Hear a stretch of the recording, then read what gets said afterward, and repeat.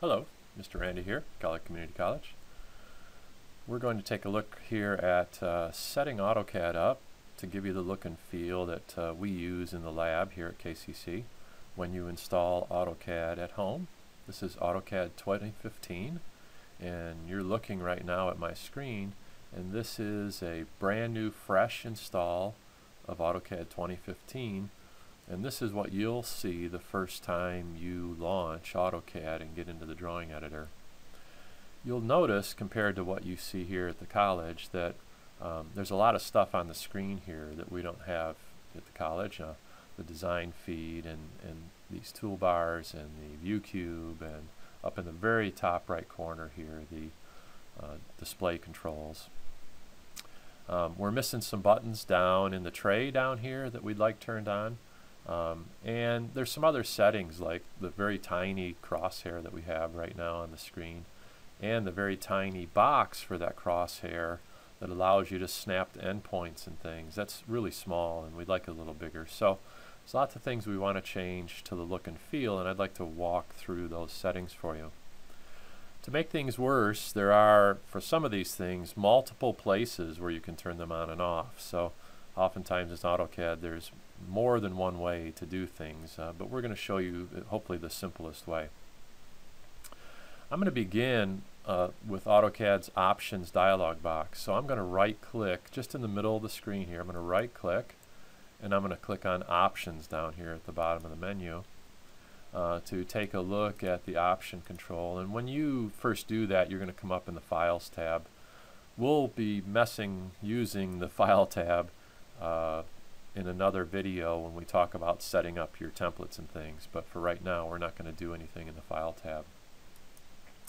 Under Display, uh, one thing I want to show you, we use the dark color scheme here because it's the default, and that gives us these very dark toolbars um, and the dark look. And actually I like that look because doesn't put too much light into the eyes, but it does not have very much contrast. So if you have some visual issues and you'd like more contrast in your toolbars, uh, switch this to the light color scheme and hit apply and you'll see it change here and now dialog boxes have a grayed out background and the toolbars will have a white background. Remember these are grayed out right now because I'm in this dialog box. I'm going to go ahead and close this just so you can see this is the white or light colored scheme and it has more contrast so if you have trouble working at home, seeing your toolbar buttons and things, try flipping that. Alright, I'm going to go back to options. I'm going to go back to dark because that's the way we have it here. And I'll apply that. Now I want to turn a few things off here in display uh, and make a couple settings. So I'm going to actually switch the crosshair size right here. We use about 20 or 25, so I'm going to set it to 25 here. Um, and that'll give us the uh, larger crosshair size. I'll apply that. And then uh, there's not much else here that we want to turn on or off. Uh, a lot of these things we can do in a different place, so I'm not going to change them here. Uh, this number, by the way, when you zoom and your arcs turn into polygons, the higher this number, the better they look, but the slower your graphics will perform. Um, FYI. Uh, let's see, I'm going to go to system, not much here, I'm not going to show you everything that's here, nothing there that we changed to speak of. Uh, under the user preferences you can choose your default uh, units. Um, again that's usually controlled in the template file, that's how we do it, but, but if you're starting a new drawing from scratch, uh, controls the default units. Um, I'm going to go to drafting and here we've got a couple things you can change. Um, when you get an endpoint marker, you know, you mouse over a line and you want to snap to an endpoint and it lights up green or a midpoint or whatever, this controls the size of that marker. Um, so if you want to kick that up, you could. And then this is the aperture size. That's the size of the little box when you're mousing over a line to get the endpoint. Um, the bigger the box, the more stuff you're going to snap to. The smaller the box, the closer you're going to have to get to being right on that line before the endpoint will light up. Um, the default setting is actually a pretty good uh, medium setting for, for using that. I'm going to go to the 3D modeling tab. There's a couple things we want to do here. I'm going to turn off this 2D wireframe visual style. That's this I this uh, switch bar up here. And I'm going to turn off the display viewport controls option. Uh, and then under selection, we do have another thing. This is the pick box. You can see the little pick box there. That's what you get when you do an erase command or you do a copy command or whatever and, and you have to select objects. Well, that's way too tiny. You have to be very precise with your mouse to pick things. So we like to kick that size up. And again, it's just an eyeball thing. You decide how big you want it. If you get it too big, it becomes more kind of cumbersome. But um, so don't go too do get don't get too carried away. And then this is the size of the grips when you click on a piece of geometry. You've seen them. Uh, you can control the size of the grip. Um, and I think that's everything we want to do here. I'm going to apply all that, and then I'll go ahead and hit OK. You can see a few of my things have disappeared here. I still have a couple things up on the screen, which we're going to deal with. All right, so uh, up on the ribbon, up here, I'm going to go to the View tab. And uh, this is the UCS icon. It's down here at the bottom of the screen. It shows you the current X and Y direction. It's pretty handy when you're working in 3D. I think in 2D, you know your X and Y coordinate system, so I don't think you need that up there. So we turn it off, and I'm going to do so. Uh, the view cube is already gone, but I'm going to switch that off there just so it's off in both places. Then here's the navigation bar. That's this bar over here. I'm going to turn that off with that button. You can uh, turn off file tabs for instance. I'll do that. You can see what happens. My drawing tabs have disappeared.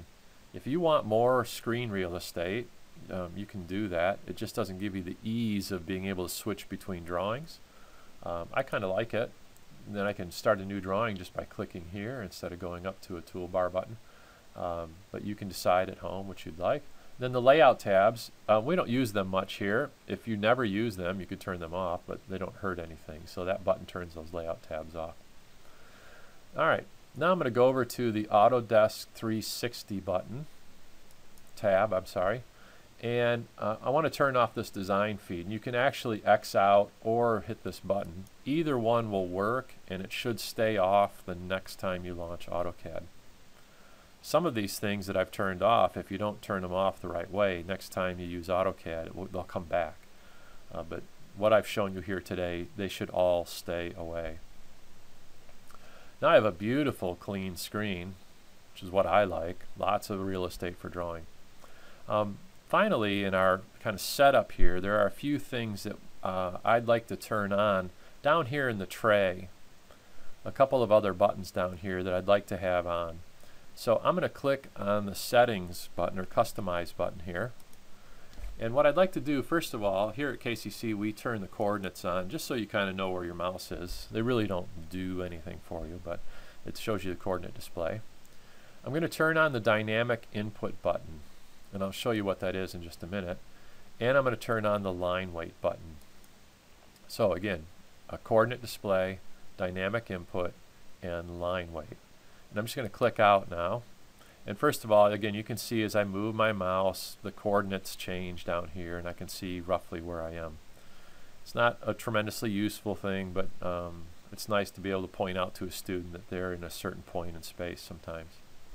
Now, dynamic input. Uh, let me click right here and just drag a window, and you can see I get all this display on my screen that says specify opposite corner or gives me some numbers I can input.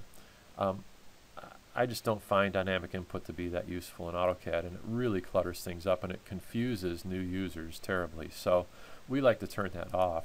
Even when I draw a line, it's giving me dynamic input and right now it says I'm at 37 degrees, but if I click, I don't get a 37 degree angle. I get a 37.01728491 whatever.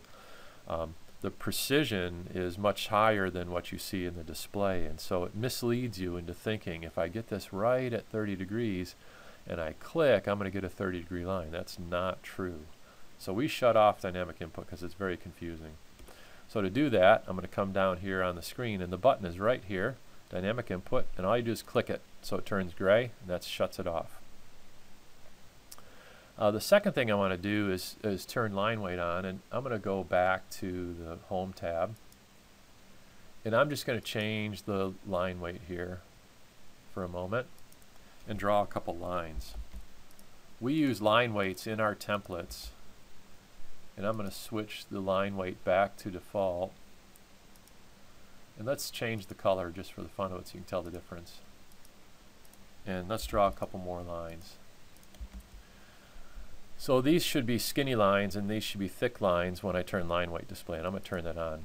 And you can see that that's what's happened. I have thick lines and thin lines. When you use our AutoCAD templates at home we have line weights set so that your visible lines are thicker your hidden lines and center lines are thinner and dimension lines and the border lines on the title block are very thick and we control all those line weights in the template. Sometimes it's nice to turn them off. Sometimes you could have a line hiding under a line that you can't see um, and so uh, the line weight button down here if you just click it allows you to turn line weights on or off so you can see what's going on. Um, and we have that button turned on here so I wanted to show you how to get that same look and feel uh, at home. Alright, uh, all the rest of these are toggles and, and uh, you'll learn about them in class so we don't need to talk about those at all. So there you have it. This is uh, all the settings that, that uh, I perform to get AutoCAD set up here at KCC regarding kind of the look and feel. You check out this part two video, it'll show you how to get your templates set up and file locations and uh, how to get your title blocks and borders installed. Uh, good luck and uh, have a great day.